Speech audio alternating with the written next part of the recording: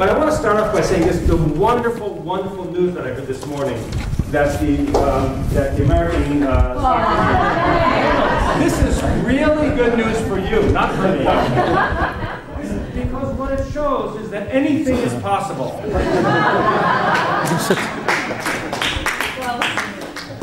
And, and so it extends hope for all of us. Um, hopefully I won't lose my clicker either. Allow me to begin to uh, undress. So I am going to talk about uh, entrepreneurship around the world and lessons that I've learned uh, by going around the world and meeting with entrepreneurs and studying entrepreneurs. But I want to start off with the question. I'm going to go over here because I think that you're being structurally uh, neglected because the podium's over there. So I'm going to compensate for that immediately by standing here for as long as I can at the beginning. Um, so I'd like to ask you, first of all, when you think about entrepreneurship, just to yourself for one second, who comes to mind as the examples of entrepreneurship that we're trying to create? Don't say anything, just think for one second who they are. And now, I'm not a magician, but I will predict the words that came into your head, or the pictures, and they're these guys. Right? When you thought of who the entrepreneurs are that are making a difference in your world, you thought about Stephen Jobs, and you thought about Richard Branson, and you thought about Fred Smith, and you thought about Sergey and uh, the Google guys, and you thought about uh, Bezos and Meg Whitman, and so on and so forth. That's who you thought about. These are not going to change your world as a society. They're going to change our world as consumers, but they're not changing our world in terms of the quality of our lives as much as these guys. Now, possibly you'll recognize one person, possibly you'll recognize one person over here. possibly, I'm going to get out my very high-tech clicker here. possibly, but I'd be willing to bet that no one will recognize any of these individual people. It's their prize. who did you who do you recognize? I said that excluding Shane I said excluding. You're not. You're already. You're already not listening. I'm an entrepreneur. What do you expect? Ah. No. Ah. That's a very good point. You, think because you're an entrepreneur that you have an exemption from listening? Okay. These are the kinds of entrepreneurs who are, you who are entrepreneurs can be like, if you're not already, you may be already. And you who are policymakers or involved in influencing entrepreneurship can create. Not these, forget about these. Forget about it. These guys. And I'm going to go into a few examples to show you what I'm talking about, and you'll see why. This is what I call normal people doing abnormal things. This is what I call accessible entrepreneurship. These guys, when we use them as examples of entrepreneurship, actually diminish the amount of entrepreneurship that occurs in a society because they're unaccessible, they're impossible for us to achieve, they're levels of aspiration that do not apply to us. These represent levels of aspiration that, apply, that do apply to us. So it's important for us to study and understand what these people represent. Some examples. In Mexico, 15 years ago, three graduates, young, fresh graduates from the Harvard Business School, set up a multi-screen cinema business in Mexico City in the midst of the economic, just before. They had their timing was perfect. They did it just a few months before the currency was devalued by 50% overnight in Mexico. It was called La Magia del Cin, Cinemex. And they tried to solve a problem. The problem that they were solving is the problem of, they called a brick and a stick. A brick and a stick means, or meant, that when you went to the cinema, like imagine yourselves here in the cinema, and you have to bring a brick and a stick. You have to bring a brick because there were no seats. You needed something to sit on and you needed a stick to beat away the rats. and in those days, the cinema experience It was government controlled, it was union controlled, the prices of tickets were very low because the government said everyone deserves to go and go to the cinema, so we're going to control the prices and make it low enough. And as a result, they were unpleasant, there was bad food, horrible quality, and bad movies. And they came in and said, we can create a new concept. The new concept is the multi-screen, I'm sure you have it here, and it's around the world. It started in the United States. Large, you can reserve tickets in advance, multi-screen, a lot of choice, very nice seats, good like these seats here, very nice quality, you get great food, great concessions, fast service, etc., etc. Cinemex. Two of the founders, one of them said, well, you can read it yourselves, we're taking the best practices from something, a model that's proven in the United States, works perfectly there, and we're bringing it to Mexico City. The only thing that we're changing, the only change we're making, instead of using butter for the popcorn, what do you use for popcorn here? What do you put on popcorn here? What, butter? Salt and pepper? Just salt. And pepper? Just like that. There they put lime juice and chili, and chili sauce. Okay, that's, and they made a lot of money. They sold it 10 years later for $300 million to Loews Cinema. They made $30 million together themselves. They had 50% market share. They started exporting their concept to neighboring countries.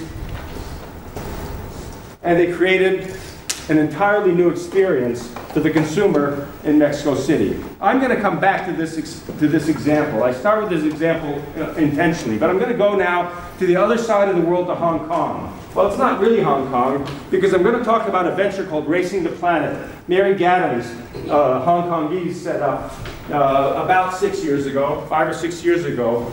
Uh, and Racing the Planet is a very odd thing. Anybody here do marathons? Don't be shy. this is your chance. If you didn't do it and you thought you did or it sounds good, you can raise your hand. How about anybody over here did a marathon? Nobody. That's why there were just, uh, sorry, you've done it. Has anyone here, uh, how many was it, a 10K, 25K, 50K? You had your hand up? The company is better. Sorry? 85K. 85K, that's fantastic. Anybody beat 85K? The hands go down. What she stages in Racing the Planet are 250 kilometer ultra marathons in the worst places in the world to run marathons. In the Gobi Desert, they're all deserts. In the Gobi Desert, the Sahara Desert, the, Mon the Atacama Desert in Chile. And if you go through all three of those, you have the right to run in the coldest desert in the world. It turns out that Antarctica is a desert because there's no precipitation there, very low. And so they run 250 kilometers in Antarctica. They don't do it all in one day. Relax. They take seven days to do it. It's open to everybody. These are consist of competitive athletes and people who are 75 years old and 20 year olds that go and do it because it's there, because it's challenging. So here are just some pictures. And she's branded it. It's called the Four Deserts. called the Four Deserts. And what she's done with this is she created a store. Because there are only a few thousand people at most that can participate in these events. These are horrible events to organize. They're complicated. They're logistically very, um, very challenging because you have to put teams of people, 30 teams of people, out into the desert to arrange the course because you don't really want people wandering off and getting lost. These empty chairs may be because some of the people got lost. but what she's really doing is creating a brand because she heard that Ironman makes $150 million a year by licensing their name to a watch company. And she heard that North Face, anybody here have something called North Face? Yeah. No, show hands. right? doesn't, is, uh, lots of people, many more people. Four people raised their hand about running marathons, but about 20 people raised their hands about North Face. Do you have any clue what North Face is? Do you have any clue what face they're talking about? Do you have any clue? Has anybody ever been there? Has anybody ever climbed it? No, of course not. That's the power of a brand. That you're all buying it because it gives you something that you don't have to climb the mountain for and risk your life in order to get. That's what Mary Gadams is trying to do, and she's succeeding at it. We don't have results, that's the story yet, but without any equity dilution, the guys from Cinemex lost, gave up a large piece of their company in order to bring in investment. She hasn't brought any investment, and a few years later, just through her own guts, has a $4 million company, and she's just getting started. She's just getting started. She's increased the number of events, revamped everything, selling uh, products of all kinds that are branded Racing the Planet or certified by Racing the Planet brands. And she's got everybody, CNN, National Geographic, Discovery Channel, Time Magazine rated at number two in the world, etc. I do not get any commissions if you go and participate in these things, but if you want to, you can. It costs $3,000 uh, and equipment costs, plane costs, and so on. By the way, she finances this. It's very clever. It's what's called customer financing customer financing, she gets people because it's such an interesting event, so exotic, so unusual, that she gets people like us to pay six months in advance to sign up, $3,000. That means she has some beautiful little thing called negative working capital. I mean, she has excess cash and she has used that to run her business. Fantastic, isn't it? Third example, SABIS. I'm sure that no one here, I, I'm not sure 100%. I think that no one here has heard of SABIS. It's what's called an educational management organization, or otherwise EMO, managing where, where governments, certain governments, for example, in the United States, are starting to outsource the educational, the whole educational management experience to third parties. for example, charters. Um, and this was built on a long time ago It started, built on a challenge of four myth, what they call myths. I'm not saying I agree with everything they say, but this is what they say. It's very clear. They say, first, well, we're challenging four myths. Education must be individualized. They say, no, it can be standardized. It should be nonprofit. No, it can't be nonprofit because it won't be sustainable if it's nonprofit. We're talking about public K through 12 education. I'm not talking about other things. The more you invest, the better. They say no, the less you invest, the better. In fact, you have to be efficient. You have to worry about efficiency in an education system. And learning by memory, memorization is bad? No. They break all the learning tasks of history, mathematics, science, English, everything else. They break it into component learning points, and they teach the same thing over and over again in all their schools throughout the world. They have, why is Keystone there? I have no idea. they have public schools in the United States. They have private schools in the UK, Germany, Romania, the UAE, etc., etc., and they have public and private schools in those countries down there. Before telling you the results so far, this just is the map. Where do you think they're located? Where do you think they're run out of? Where are the headquarters of this company? I'll give you just one hint. I'll give you just one hint. They have now 75,000 students. They have, sorry, they have, sorry, 60 some thousand students. They have 75 schools. Where do you think they're managed out of? This I will give a prize for. Dubai. Egypt. Close. India far. Any other ideas? Dubai. Closer and closer. You guys. Oh, you're just taking. You. Oh, this is too easy. This is too easy because what you're doing is you're taking the geographic epicenter. You're averaging. Next time I saw you, I'm not. I'm not showing this anymore. They're located in a small vi- small village just north of Beirut. It's actually a suburb of Beirut called Adma. And they run there, there are a couple hundred people there running it. Some of them are programmers, some of them are management, some are marketing. It doesn't mean they don't have people elsewhere. And here are some of the results. They're running nine charter schools in the United States in inner cities, inner city charter schools they're running. The ones that have been running longest, where they have data on, have up to 100% every year, 100% college acceptance rates. In part because they define very clearly what their product is and who their customer is. They're a business. They say we should run our business no differently than Toyota runs their business. We have a customer and we have a product. The customer is the college admissions officer in, in the universities. That's our customer. And our product is the improved minds and character of the children that come in at K and go out at 12. It's non-selective. You don't get selected on any basis except your willingness to learn. Okay, so something's working. And according to MIAS, their, their goal is to get to 5 million students in the next eight years, nine years. That's a challenge. That's a challenge. And today, this is my estimate because I squeezed out of Carl Bistany, the owner and the runner of this, I squeezed it out of him in public. I think they're making about $100 million a year. They're completely private. Okay, third example. Fourth example. Studio, studio, by the way, I'm taking a break for just one second to talk to my judge over here. Uh, what my goal is about 20, 25 minutes on these examples and then 20 minutes on conclusions, okay? I know, I know who my stakeholders are. Actually, actually, actually, um, my goal is that, that they don't send me back. given the beautiful weather that the mayor's arranged. Studio Moderna, Slovenia. Anyone here ever been to Slovenia? Slovenia is a small place. Slovenia is actually smaller than Cape Town. Smaller than Cape Town. It's a country. And Sandi Češko set up a company a long time ago, not too long, 15 years or so ago, that didn't start off to be a multi-channel retailer in, in, the, in Central and Eastern Europe, but became that. Starting with the crazy product to, uh, anybody here back? No, everyone here has back pain at some point. But he had a product which a friend of his came about 15 years ago and said, you should try this because it'll cure back problems. It's a little piece of plastic I should have brought with me. And you strap it onto your spine and it just sort of like sits there throughout the day.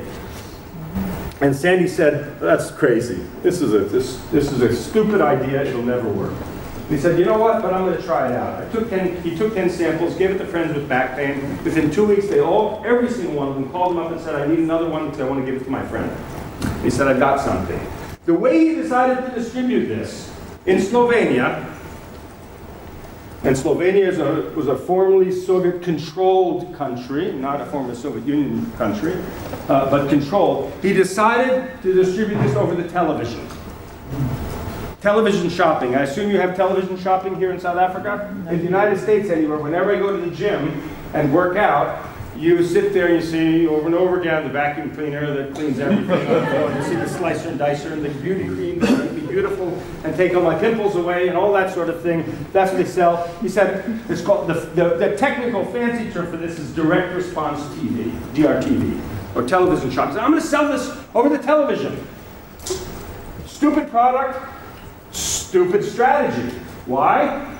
Because in Slovenia, the people who sold things over the television, over television shopping, were ranked just somewhere in between fraudsters and criminals. if you sold a slicer and dicer over the television, that's a sign that A, it costs too much, B, when I buy it, it'll, it won't get shipped, C, if it gets shipped, when I get it, it won't work, and D, if it won't work and I try to send it back, they'll say, I don't know, we never sold you one of those. And he said, I'm going to do that anyway. And he, over the years, succeeded in doing it.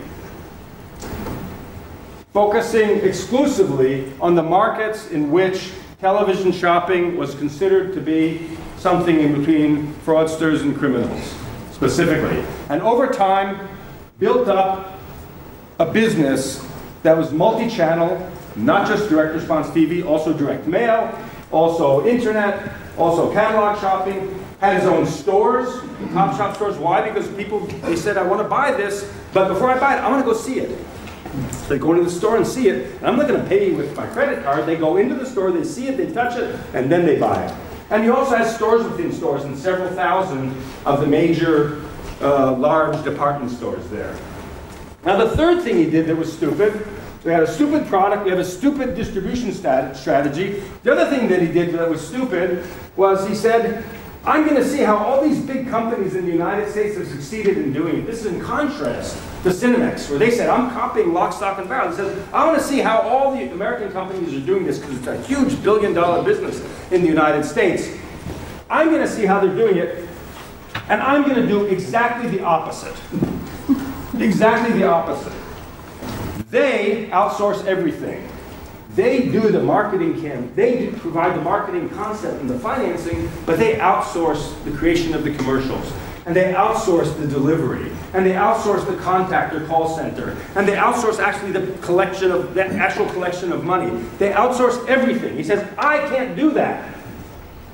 For several reasons. First, we don't have all those third parties. And secondly, if they don't behave the way they're supposed to behave, I can't take them to court. The court system is corrupt, and even if it's not corrupt, it'll take years for me to enforce the contract. I'm controlling everything in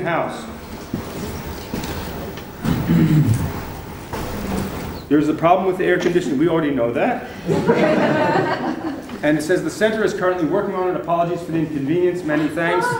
Okay? So, thank you. Yeah. That is important. Well, no, it is nice to know that somebody cares. It is nice to know. Uh, not to be taken for granted. Today, They're in 20 markets, 21 markets. They're number one in every single of their 21 markets. They make lots and lots of money. The numbers are there.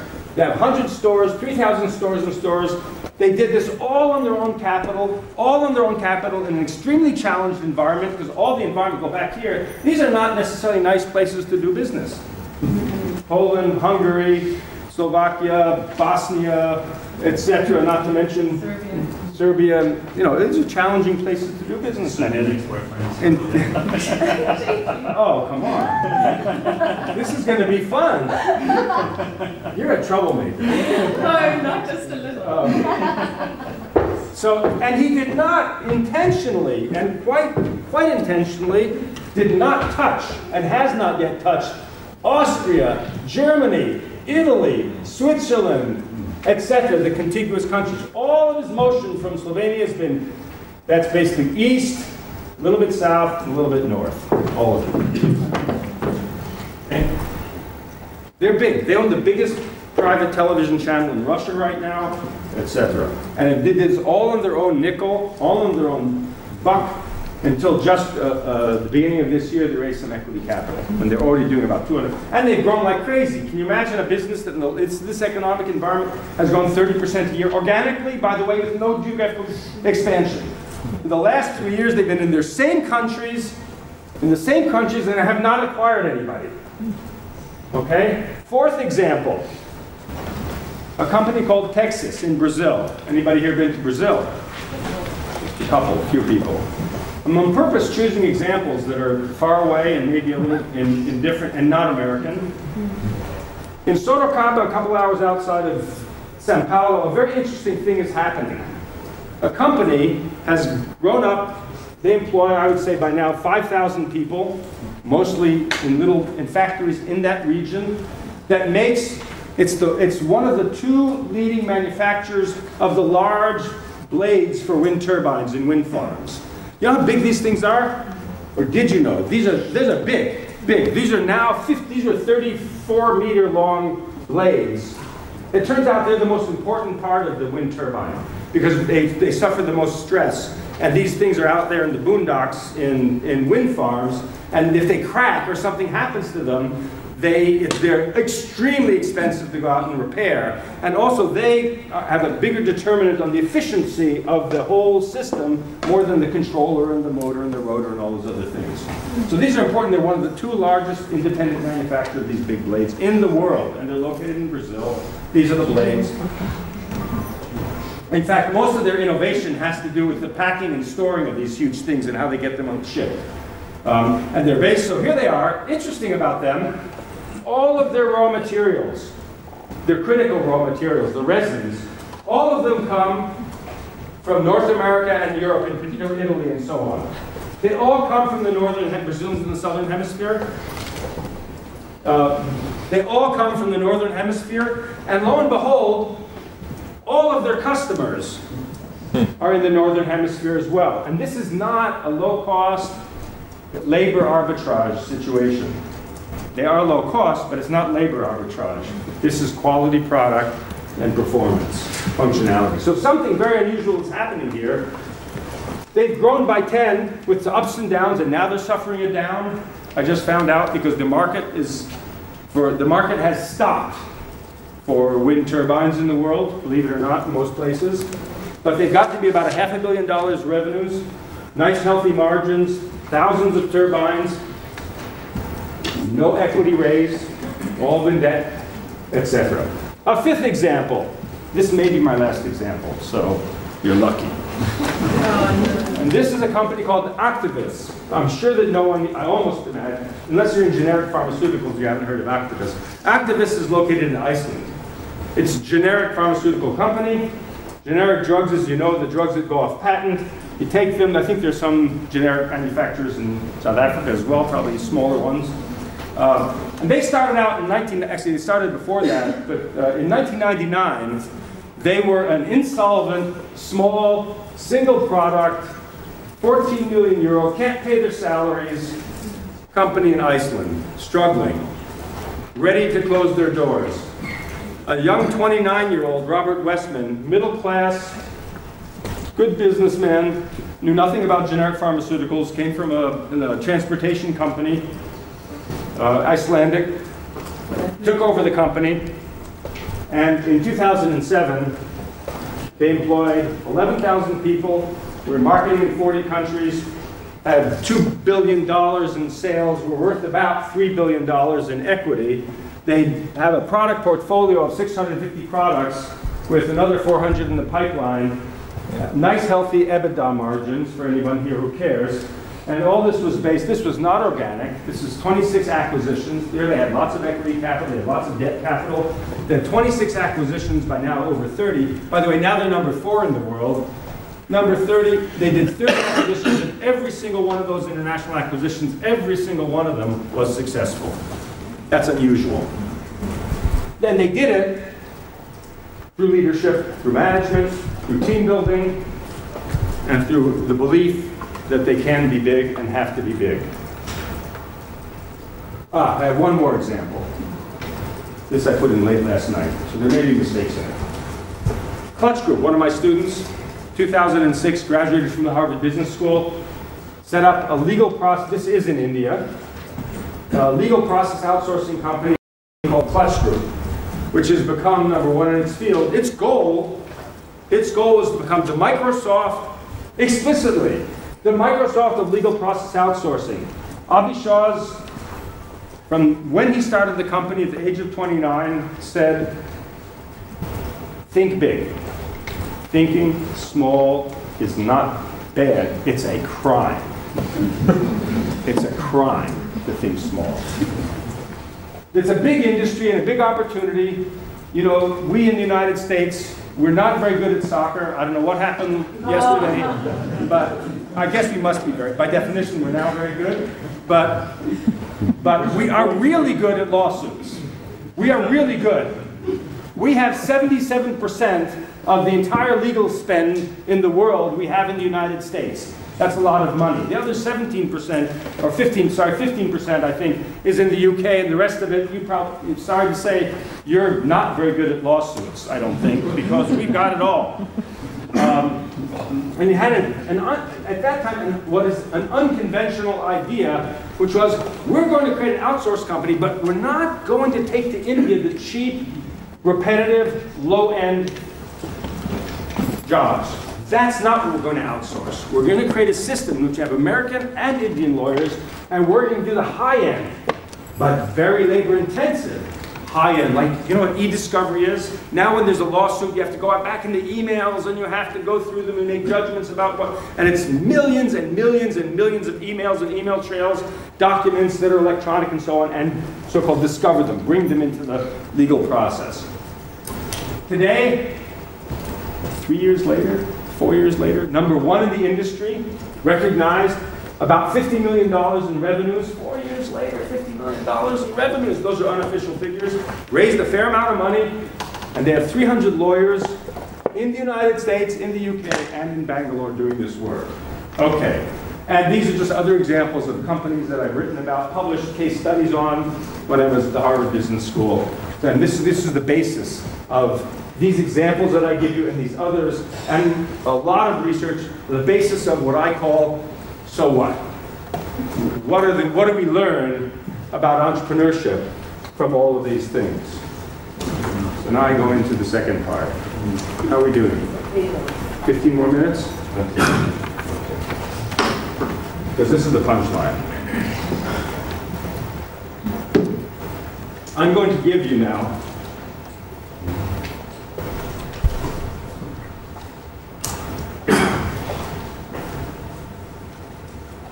I'm going to now give you my takeaways from these and other examples that I've run into. By the way, a way of, uh, I want to expand a little bit on my background just to say that in addition to the things that sure read about me, which are true, except I'm still, I'm now at Columbia. I wasn't there before, I'm now, I do a short course there. But um, I was a venture capitalist, uh, $75 million venture capital fund general partner. I was an angel, I still am an angel investor, been on boards of directors, et cetera, et cetera. And that's relevant to what I'm going to say because it's all this experience together that I want to bring to the table. First of all, lessons about entrepreneurship. Number one, the manifestations of entrepreneurship, the ways in which entrepreneurship expresses itself, when you take into account the entire world, or as much of it as is possible, are infinite. Infinite. There are as many different types of entrepreneurship, as many different kinds of business opportunities, as many different forms and shapes and varieties and sizes as there are colors in the rainbow. If you look, for example, at Mary Gadams running races or staging races all over the world in deserts, and you look at Robert Wessman selling generic pharmaceuticals, that's just the beginning of the range that I'm talking about. Many of them are surprising. Many of them are not what we expect. We do not expect the ability to turn a grueling, unpleasant, blister forming, dangerous 250 million uh, kilometer event into a huge brand. That surprises us. And when she's successful, which I think she will be, you will be surprised. Another entrepreneur has turned worm, poop, worm poop, into a very valuable fertilizer, selling it throughout the United States and now throughout the world. If you haven't seen, read the book, it's the best book on entrepreneurship ever been written, called Revolution in a Bottle by Tom Szaky. How he dropped out of Princeton, took all of the garbage from the dormitories, brought in a bunch of worms, and, and learned how with a conveyor belt, a slow-moving conveyor belt, to collect all of their worm poop, liquefy it, and sell it for lots of money through Home Depot. so their manifestations are many. Of those manifestations, many of them are perceived, I'll come back to this, as either worthless, impossible, or stupid. As an impossible example, I'll give you the only tech example that's that, that, that I will talk about, I think, a company called Given Imaging. Have you heard of them? Some of you may not have heard of them, but you felt them. They invented the world's first voyage inside of the body. They produced a video pill that you swallow. It's a camera. It's a light source. It's a power source. And it's a radio. You swallow it, and it's the only way that you can reliably image the small intestine. It saves lives. It's been on the market now for six or seven years. A million procedures have been done. It had, when it went to market, 150 patents. That's in the impossible category. It's now a commercial product. It's the standard of care. They invented a new field. It's called capsule endoscopy. GIVN is the NASDAQ ticker symbol. The implica- so that the implication of this, now for the policy side, I said I'd try and sort of sprinkle a few comments about policy. One of the implications of the fact that there are so many types of entrepreneurship that, that exist is that it is hard, if not impossible, for policymakers to predict what's going to be successful. So those of you who are trying to create the environment or the policies, it's impossible for you to know what's going to work and what isn't going to work. That's a big challenge. But one of the things it means is that it's probably a mistake to define priority sectors.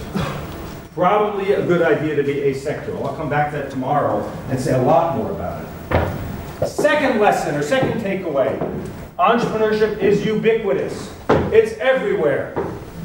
I've been now to 40 countries. Most of them say we don't have enough entrepreneurship. A few of them say we don't have any entrepreneurship. When you dig in Saudi Arabia, where I've been several times, more than several times, where you dig in Saudi Arabia underneath the sand for the entrepreneurs, you find them. They're not prominent, they may be hidden. In Saudi Arabia, for example, uh, some societies, in fact, try to hide their entrepreneurs, not intentionally. One entrepreneur who created in, in Saudi Arabia a very successful and prominent chain of chocolate stores called Anoush. Abdullah, Abdullah Al Munif is his name, young guy, quit his job at the bank, sold his apartment, went into, rented a cheap apartment, got a secondhand car, and started running around trying to sell chocolate-covered dates. First the corporate customers, one thing after another. He didn't tell his parents for three years that he resigned from his good job at the bank. Three years. He was 28 or 29 at the time. He didn't even try to look for a wife because he knew that any family that he would ask their daughter's hand in marriage would never even look at him. Now he's married, now he's got kids, now he's well, not, he's not that well, his stores are well known. It's everywhere, in every society. I've never seen a society that has too much of it, but I've seen a lot of societies who say we don't have enough or don't have any. In fact, a lot of times the entrepreneurship in societies is channeled in antisocial ways whether it's for tax evasion or worse. One of the greatest entrepreneurs in, was in Colombia, Colombia, where I've been many times, named Pablo Escobar. Pablo Escobar was ranked by Forbes one year in the early 1990s as the seventh wealthiest person in the world. He had distribution channels. For those of you who don't know, he was a cocaine king in Medellin. Colombia, he had distribution channels throughout the United States. He knew logis- throughout the, the world, including the United States. He knew logistics down pat. He was innovative and inventive. He figured he had chemists working for him who figured out ways of mixing the cocaine inside of petroleum products so that it could be smuggled as tires, not in tires, as tires when it got to its destination, he developed chemical processes for melting it down and extracting the cocaine out of it, back out of it, and selling it on the street. Can you imagine if that had been channeled in pro-social ways and somehow? Can you imagine? That's number two. Number three. Anyone can do it anytime. Anyone. Old, young, and I'm speaking um, right now from, guess which side of the spectrum I'm speaking from. Regardless of color, rich or poor, poor, healthy or sick. Name helps, but it's not critical. Having money helps, but it's not critical. I like to say that entrepreneurship is the biggest equal opportunity employer that there is. Because what matters, the biggest determinant of success in entrepreneurship, the biggest, is what goes on between your two ears. That's the biggest determinant of success. I had a student named Avi Kremer who became an entrepreneur the day that he contracted, that he knew he had contracted ALS, Lewis Gehrig, Lou Gehrig's disease, and knew he was going to die. And from that day on, he's created a huge nonprofit to look for treatments for ALS, and with me and with a couple of other people, we created a for-profit biotechnology company to look for treatments. We've already licensed our first treatment. He can't speak, he can't breathe, he can't eat.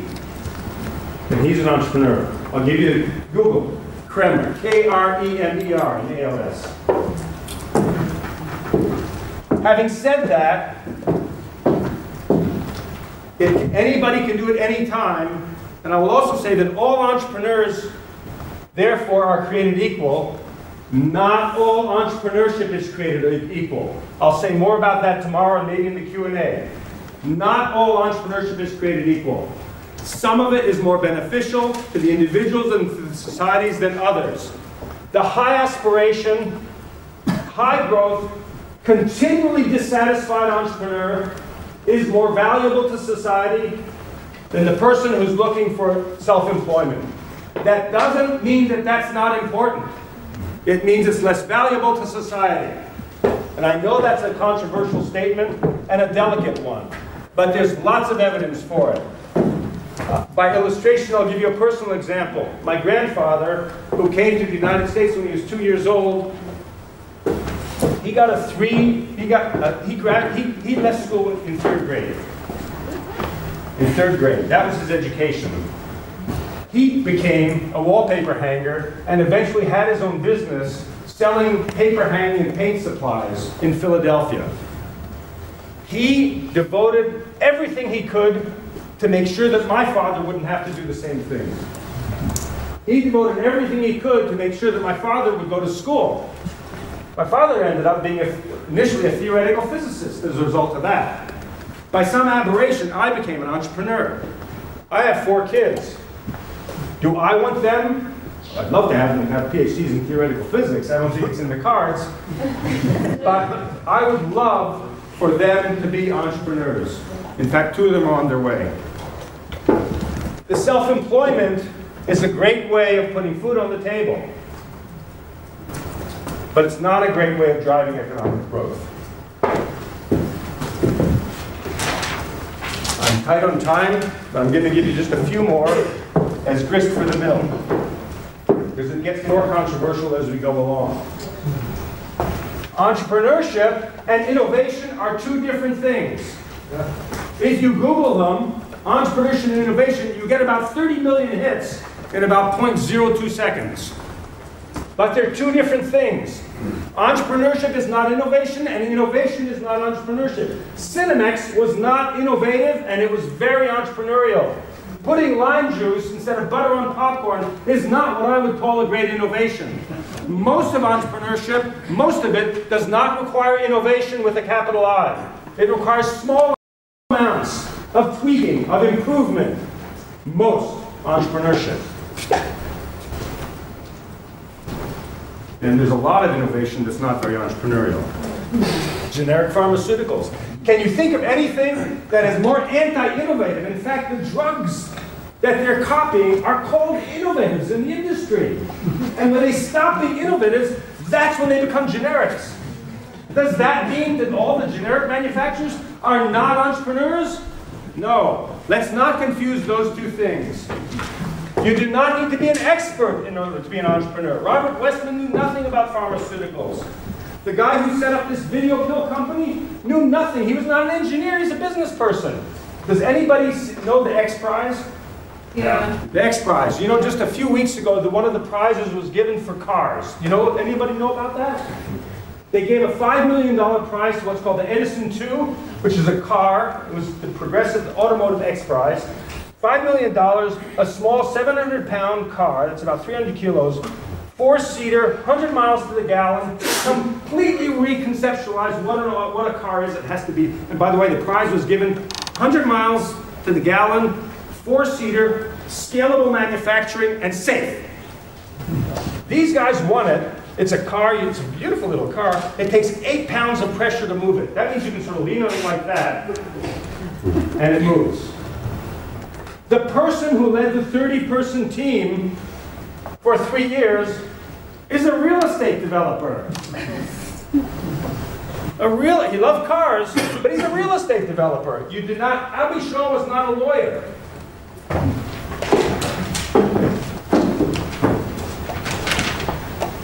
I will end, but because I have more chances, this is not going to be the end.